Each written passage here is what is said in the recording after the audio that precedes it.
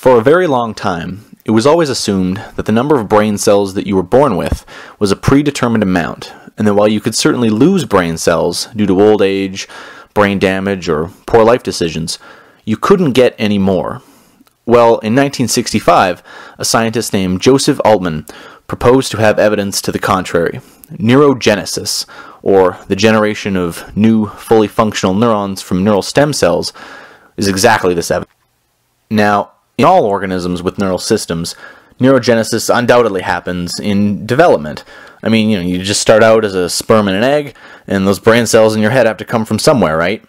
Well, what I'm going to be talking about is something called adult neurogenesis, the creation of new brain cells during your adult life. Although first presented in the 1960s, the idea didn't really catch on until the 80s and 90s, mostly due to better scientific methods by which to actually, you know, prove that neurogenesis happens. Uh, but it has since then grown into one of the biggest topics of study in neuroscience today. Neurogenesis can occur throughout the entire lifespan of an individual, but it doesn't happen everywhere, only in a few specific areas of the brain. Some have been extensively proven and are now widely accepted as sites of neurogenesis, uh, while others have only had preliminary evidence shown and are merely suggestive or probable. Some of these include the cerebral cortex, or the outer layer of the brain critical to things like planning, perception, thinking, and cognition.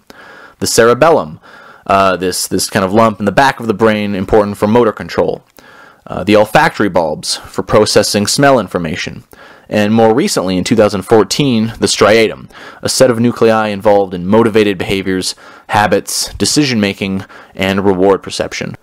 While neurogenesis has been shown to occur in, or at least suggested to occur, in many of these areas in mammalian species, very few of them have been shown in humans. And so, lastly, the brain region, which will be the focus of this video because it's where most of the research is done, is the hippocampus which is a key brain region in the medial temporal lobe and component part of what is referred to as the limbic system, which is a large group of brain regions collectively responsible for things like emotion, motivated behaviors, and memory.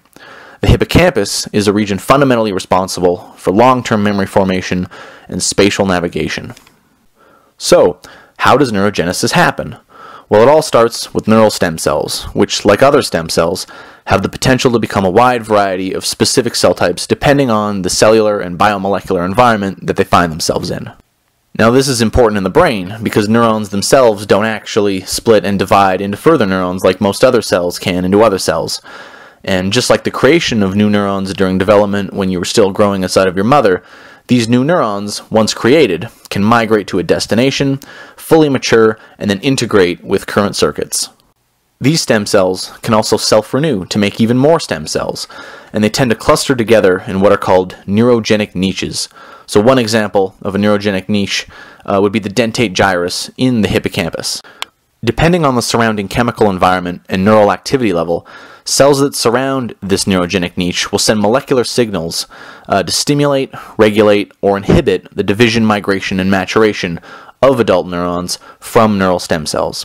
And these can be things like neurotransmitters, like GABA or glutamate, hormones, growth factors, cytokines, or even drugs. Now, because changes in the activity of the brain can induce neurogenesis, and because how you live your life and what you do can change your brain activity, there are many things that you can do in person or things that can happen to you uh, that have been shown to either increase or decrease the amount of neurogenesis that occurs in your brain. Things like exercise, stress, aging, and a lack of good sleep. But the big question on everybody's mind who studies this is what is neurogenesis for?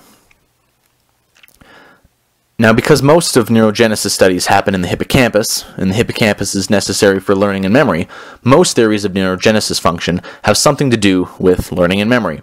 So, why might a constant flow of new brain cells in a learning and memory region be necessary? Well, new neurons might be integrated into new memories, allowing you to form new memories without losing the old ones. Or that the integration of new cells allows the existing memories to be perceived as distinct from one another instead of some hazy blur of events. The new cells might be a kind of separation mechanism for overlapping memories. Regardless of what the functional role of naturally occurring hippocampal neurogenesis is in learning and memory, adult neurogenesis is a very powerful discovery because it means that there may be a potential in using it as a therapy to repair an organ that once damaged, for the most part, remains damaged. It might, in the future, be used as a means of recovery from brain damage.